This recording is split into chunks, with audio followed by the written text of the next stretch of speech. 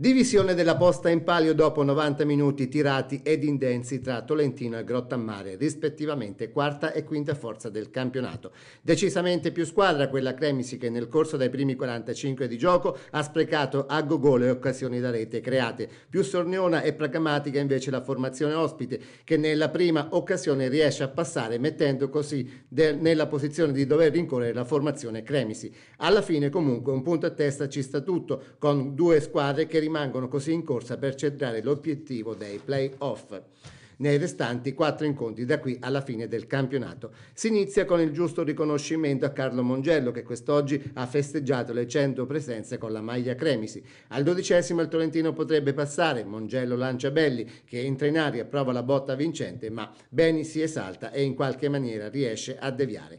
Al diciottesimo ci prova Severoni, conclusione a giro e nuova deviazione del portiere bianco-celeste in angolo. Alla prima disattenzione, al ventiduesimo Campanella si allunga troppo la sfera, D'Angelo l'anticipa, mette al centro per Ludovisi che riesce a così a superare Rossi, 1-0 ospite. Cerca di riscattarsi dopo 10 minuti il centrale difensivo Cremisi Campanella, angolo di Mongello, ma il tapin vincente non arriva.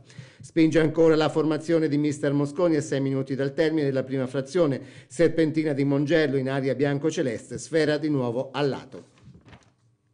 Nella ripresa nemmeno un giro di orologio che il pareggio è cosa fatta. Quinto angolo Cremisi, assist di Mongello, testa di Campanella, 1-1.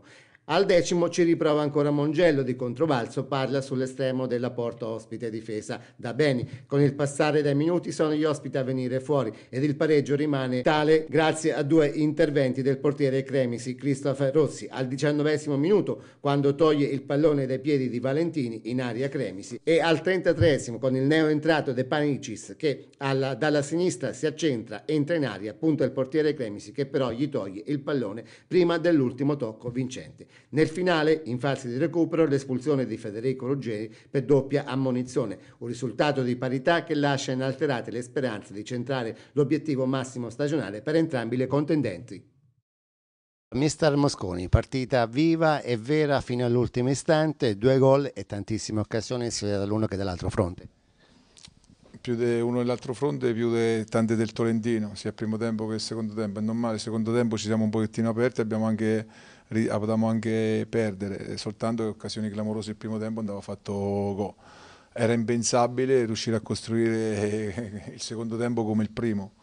Eh, abbiamo iniziato a giocare un po' difficile dopo l'1-1, eh, però va bene, mh, mm, spirito giusto, era difficilissimo vincere due partite casalinghe, eh, però eh, ci siamo, quando una squadra crea tanto eh, dopo prima o poi si riesce a metterla dentro, tanto il calcio è così, si, si compensa.